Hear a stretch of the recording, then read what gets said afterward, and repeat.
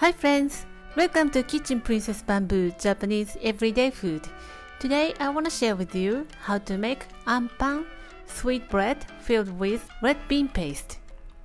Have you ever tried this delicious sweet bread which is staple in Japanese bakery? What I like the most is Kimuraya, Ginza, Tokyo. They created anpan for the first time in the Japanese history. They make anpan with sakadane starter, which is made of rice koji just like miso. So aromatic and moist. I want to recreate it at home, but it's not easy to access. So I experimented to recreate the texture and I have gotten more than 60 pieces of anpan in the end. I offered those to my local temple for their monthly gathering. Let's get started. First, let's make the dough. Put your bread flour into your stand mixer bowl. Add in sugar and salt. Mix to combine. Meanwhile, beat the egg and add in the whole milk.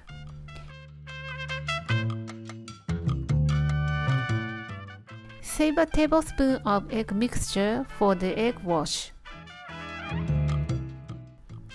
Add in the yeast and continue mixing.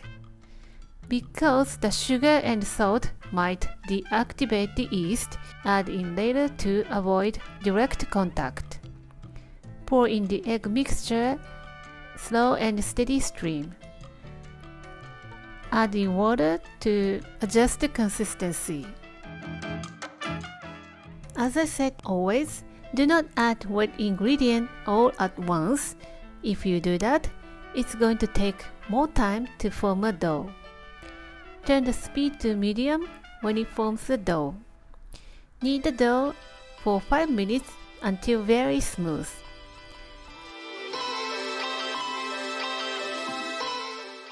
Add in room temperature unsalted butter and mix until incorporated for about 3 to 4 minutes.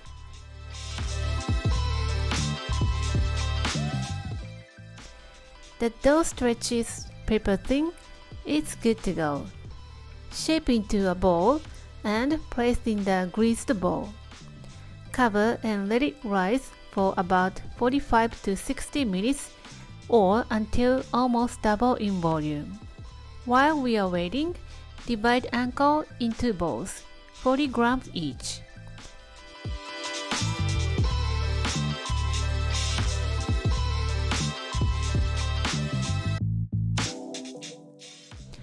After 15 minutes, my dough rises almost double in bulk.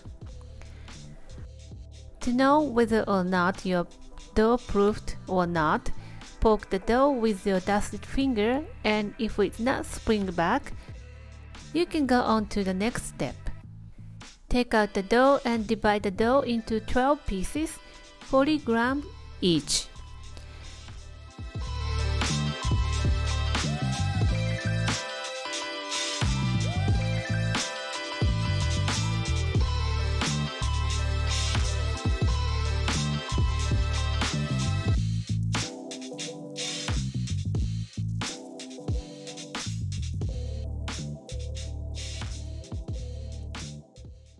Shape into a ball and take 5 minutes bench rest.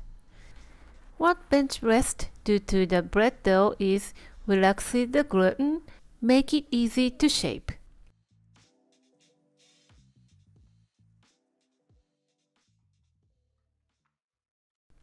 Lightly flour the working surface, then roll the dough out into 10 cm in diameter.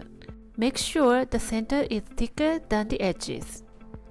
This is because when you rub the anko with the dough, the dough will gather on top and it makes thick layer on top.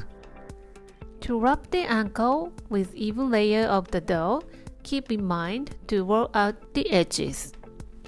Press the anko in the center and pull up the dough and pinch the edges to stick together. Pinch to seal the end. Be careful not to dust your dough with too much flour. Your dough won't stick together to seal. The other shaping method is like this. Roll the dough out into 50 cm in diameter to cover the anko.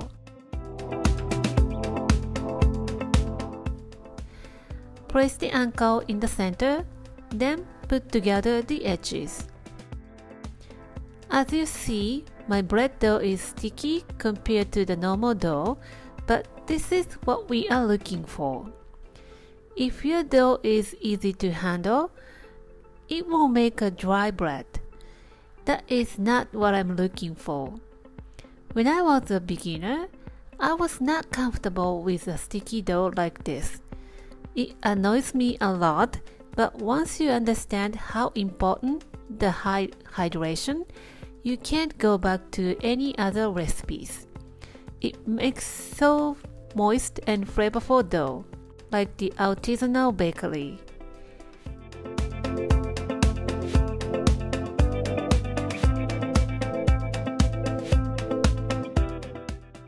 Flatten the dough into a disc and let it rise for 30 minutes or until puffs up like this.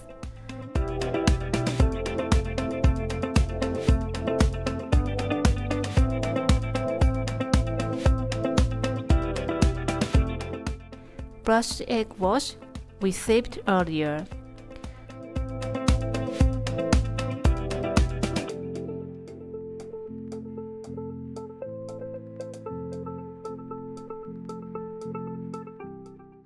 For the finishing touch, you can simply cut slits with the kitchen scissors or use a rolling pin to make a dent with sesame seeds.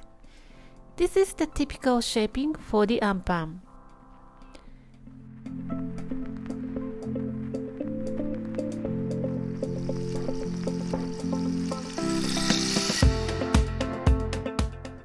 Pop in the 190 degrees oven for 12 to 15 minutes or until golden brown.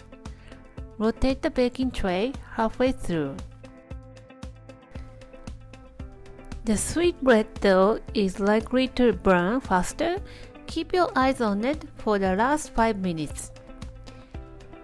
There you have your anpan. Take a look at the inside. You can see the dough is even. It's a good anpan. It's an old-fashioned bread, but I crave it sometimes. The dough is melt in your mouth and anko is so sweet and flavorful. I love to serve anpan with milk. It goes so well together. It's a classic combination for detective eating at the long night. Isn't it funny? It's just like a donut and coffee in the United States. I hope you will give this recipe a try. Thank you for watching the video. Give me a big thumbs up and share the video with your friends and families and don't forget to subscribe to my channel if you haven't done so already. Follow me on the social media and tag me on your post if you give it a try and go to my website for the printable recipe and more information. And go to my website for the printable. And my store on Amazon has pretty much everything that I'm using in my video. Stay safe and stay healthy, and I will see you soon. Bye!